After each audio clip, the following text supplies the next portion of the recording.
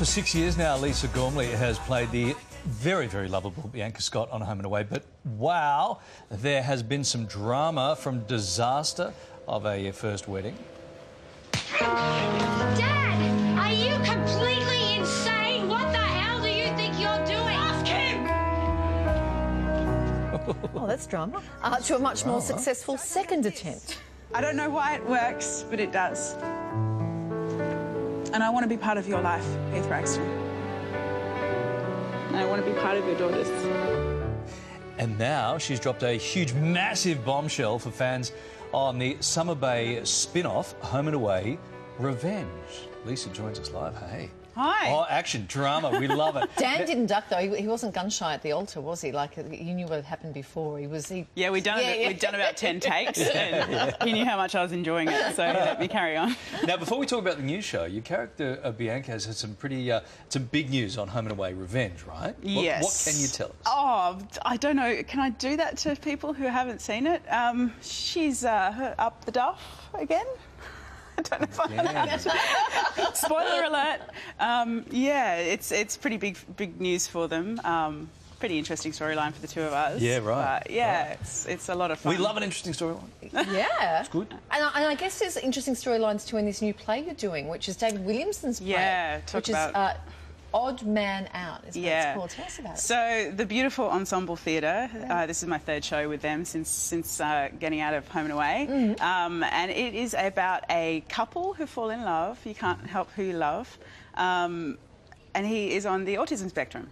And she doesn't figure this out until they are married and things start going a little bit askew. So it is a comedy, but we do do a lot of educating and we do show a lot of um, a, a, a neurotypical um, woman with a an AS partner Okay. and how to make that work. And it does work and it can work and it's it's lovely. Now, the thing with that ensemble theatre, and last time I was there, I think I was in the second row, and it is like, it's there, Oh, yeah, right? It's a very intimate space. Yeah. So this is a very intense character. Is that difficult to play when Yeah. you, look, look, where you're so, so close to people there? I know it's lovely though because my character is, yeah. spends the entire time talking to the audience, so they are Right, literally okay. another character. So she narrates the the whole story. Um, oh wow, I haven't seen any video footage. um, yeah, it's it's really exciting. It's, it's a really exciting, exciting space to be surrounded, and the ensemble is a phenomenal place to work. Yeah, yeah. And David Williamson, this is his 48th play, um, and a- Phenomenal. a 17th world premiere for the ensemble theatre. So Wow. yeah, And- pretty and lucky. Rachel Gordon uh, is also is also in this, right? Yeah, she's become a soul sister. I love her very, very dearly. We have a lot of fun. Because, but you never actually worked together on, Ho- even though you were both on Home and Away, you never actually No, worked we didn't. together on Home No, and we Away. didn't get to. But we have a lot of fun in this. She plays my slightly uh, negative friend, uh, which causes a little bit of humour going on there. Hey, uh, how was Chrissy for you? Oh, beautiful. I went back to the mountains in Tassie, so I had. Uh, we were rehearsing either side, but we had Christmas and New Year's. Lip sync battle at New Year's. Right. Wonderful. Is that an escape for you? Like, is Uh, it a yeah. runaway escape up into the mountains? Whenever I can. I, every time I come back to Sydney, it just gets more and more chaotic and busy and busy. Not for me, but just for lifestyle in Sydney. So it's good to run away. Because are you a, a self-confessed hippie chick? Is it? Absolutely. Yeah. This Yes. is not normal. they made me look like this. How, do we nor- how would we normally find you? In yoga pants, maybe? Yoga pants, Yes? literally in yoga pants. I have. Oh, there we go.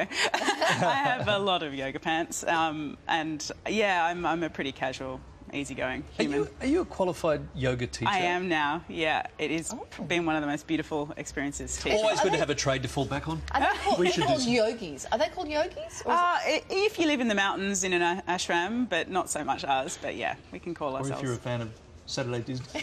yogi? Yogi? in Yosemite Park? yes. yes, that's- yes, yes.